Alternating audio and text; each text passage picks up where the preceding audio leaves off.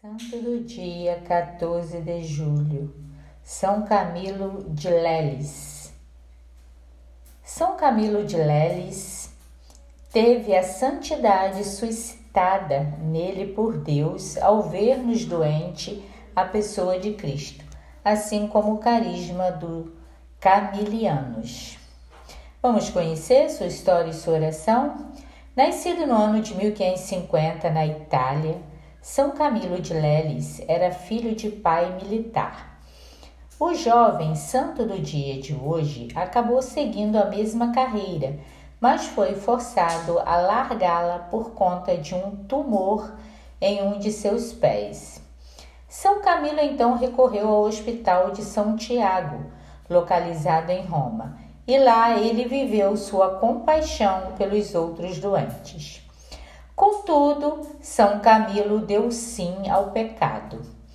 Ele acabou se entregando ao vício do jogo e assim acabou perdendo todos os seus bens materiais e ficando em total miséria. São Camilo de Leles saiu então do hospital por conta de seu temperamento. Ele foi indo de hospital em hospital para poder tratar a sua ferida até que acabou batendo na porta dos franciscanos capuchinhos. Lá, ele quis trabalhar na obra do Nosso Senhor. Foi aos 25 anos de idade que São Camilo começou seu processo de conversão. Tudo começou no hospital em Roma, quando sua santidade foi suscitada. E além disso, viveu lá uma bela amizade com São Felipe Neri. São Camilo entrou para os estudos e chegou a ser ordenado como sacerdote. Ele foi então vendo como era a realidade da vida dos peregrinos de Roma, que não contavam com qualquer assistência médica digna.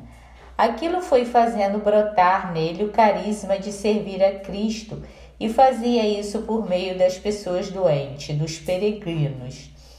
Muitos foram os que se uniram ao santo nesta obra. Em cada sofredor, ele via a presença do crucificado. No ano de 1614, São Camilo partiu para a glória do Senhor. São Camilo, rogai por nós. Oração para São Camilo.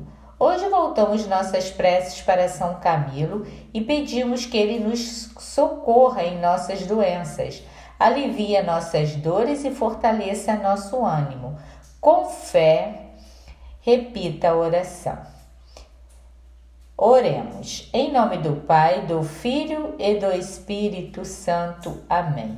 Ó São Camilo, que imitando Jesus Cristo, Destes a vida pelos vossos semelhantes, dedicando-vos aos enfermos. Socorrei-me na minha doença, aliviai minhas dores, fortalecei meu ânimo, ajudai-me a aceitar os sofrimentos, para purificar-me dos meus pecados.